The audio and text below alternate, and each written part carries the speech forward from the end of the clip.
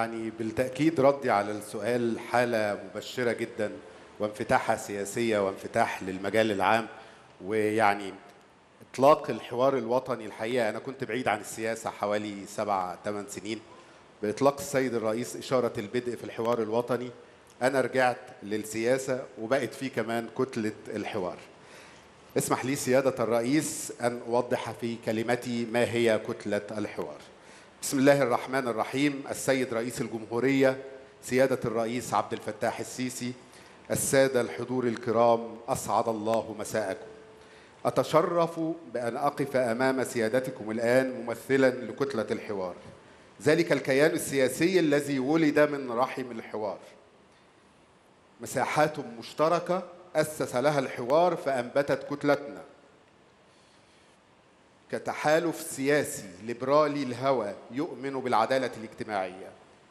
تألف تحالفنا من قامات برزت في الحوار وجلساته وعلى ضفافه أيضا فهو كيان يجمع ما بين سياسيين وأكاديميين وأكاديميين وتكنوقراط وفنيين من أبناء شعبنا العظيم. ما جمعهم أنهم يدركون صعوبة الواقع وتحدياته. ويشعرون بإحساس الشارع وطموحاته. تحالف يؤمن بالفكر وقادته ويقدس آمال رجل الشارع البسيط.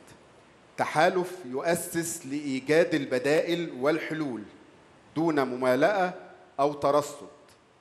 فنحن معارضة موضوعية لا تسعى ابدا لتسجيل النقاط ولكنها تهدف لبلوغ عقد جديد. من التوافقات الوطنية الكبرى بين الإدارة والمعارضة والشعب وأن نتفق الآن وليس غدا على حتمية التفاهم والاستيعاب ومد جسور الثقة بين جميع الأطراف. فنحن كتلة سياسية تتعاون لعلاج القضايا والتحديات بدلا من إلقاء التهم والشقاق. ننطلق من شرعية الدستور ونؤمن بأن ثورتي 25 يناير و30 يونيو هما المكون السياسي الأبرز لحاضرنا ومستقبلنا. سيادة الرئيس ما يفوتنيش أبدا إن حي حضرتك على إنقاذ مصر في 30 يونيو من حكم فاشي تستر بالدين. نحن أبناء التراكم الوطني نؤسس لمرحلة جديدة من النضج والوعي السياسي. نقف في مساحة بين الترصد المغرض غير الموضوعي وبين التهليل المستمر. سيادة الرئيس والحضور الكريم نحن جيل سياسي يدرك كل التحديات التي تمر بها الدولة المصرية. فمنذ عقد مضى ومصر تعاني من أحداث وظروف استثنائية.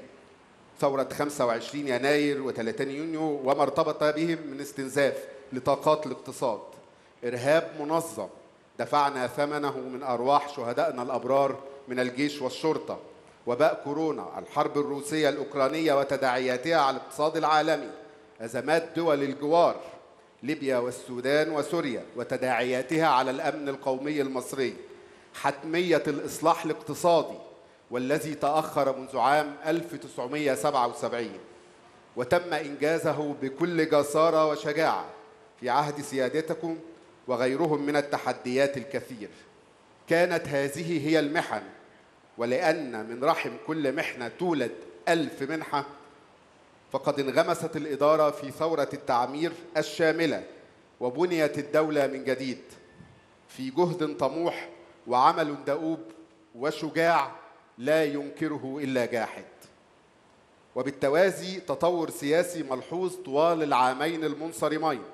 فعلى سبيل المثال رفع تطبيق حالة الطوارئ طوارئ تشكيل لجنة العفو الرئاسي وخروج أكثر من 1400 سجين رأي.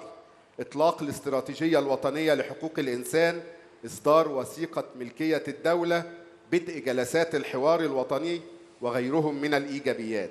هذا التطور السياسي لا ننكره أيضا ولكننا ننتظر المزيد والمزيد. فالحرية السياسية وفتح المجال العام وحرية تداول المعلومات حق أساسي سيادة الرئيس. قانون مباشرة الحقوق السياسية يكرس للتعددية السياسية والحزبية ويكرس لحرية الاختيار ونزاهة الانتخابات. قانون أحزاب يتيح إصدارها وتكوينها كما يراقب أيضا لوائحها الداخلية ويدعم نموها وانتشارها. قانون انتخابات المحليات وعقد الانتخابات المحلية في أقرب وقت. السماح للمجتمع المدني للعمل بلا قيود فليس لدينا ما نخفيه. نريد إطلاق تنفيذ وثيقة ملكية الدولة وإعادة هيكلة الاقتصاد والانسحاب للخلف لصالح القطاع الخاص والتخلص من تركة العهد الاشتراكي التي أثقلت البلد. نريد أن ننطلق لاقتصاد السوق الحر بدون مواربة فلقد ولى عهد القطاع العام وذلك بالتأكيد مع الحفاظ أو على الحفاظ على حقوق العمال ومستقبلهم. فليس مهمة الدولة مزاحمة القطاع الخاص بل توفير كل السبل لتسهيل مهمته في الربح المشروع وتسهيل الاستثمار وانتظار عوائد الضرائب العادلة. تحدي ارتفاع الأسعار سيادة الرئيس يتطلب يتطلب تدخلا استثنائيا ولو لفترة مؤقتة حتى تنضبط الأسواق. نتطلع لإعلان نتيجة تطبيق التأمين الصحي الشامل في محافظات القناة تمهيدا لبدء تعميم التأمين الصحي الشامل في كل ربوع مصر. الوقت انتهى يا دكتور. دقيقة واحدة. اتفضل. دقيقة واحدة. اتفضل. نتطلع لتوفير الاستحقاق الدستوري لموازنة التعليم ولو بشكل تدريجي وتفعيل مبادرات أهلية لسد هذا العجل العجز في التمويل. كل أملي سيادة الرئيس أيضا في إنهاء ملف سجناء الرأي.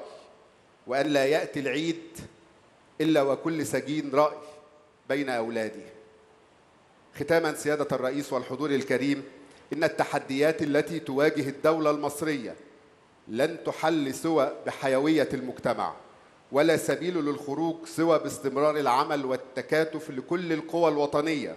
والعمل على وجود برلمان قوي يعبر تعبيرا حقيقيا عن التعددية السياسية والحزبية وعن كل آراء الشعب المصري وأوجاعه وآماله برلمان يمارس الرقابة والتشريع دون وجل أو خوف ولا يرضعه إلا صوت الجماهير وضميره.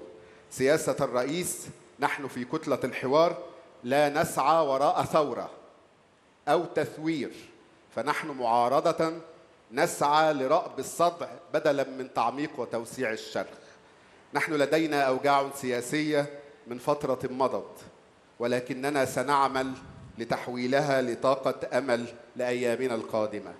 ختاما سيادة الرئيس أطلقت سيادتكم شارة البدء للحوار الوطني والذي استلهم نجاحه الكبير من فتح المجال العام وتجلت التعددية السياسية والحزبية بين جنباته وارتفع سقف الحوار لترتفع معه رأس النظام السياسي عاليا مستوعبة ومدركة لأهمية اللحظة التاريخية.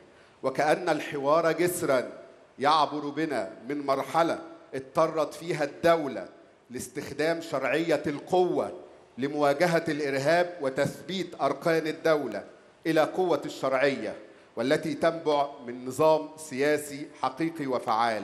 هكذا أرى الحوار جسرا يعبر يعبر من شرعية القوة إلى قوة الشرعية. فشكرا للعبور الثاني سيادة الرئيس سيادة الرئيس وكل الحضور الكريم كل الأمنيات الطيبة لبلدنا الغالية مصر وكل الشكر والتقدير لسيادتكم. شكرا جزيلا.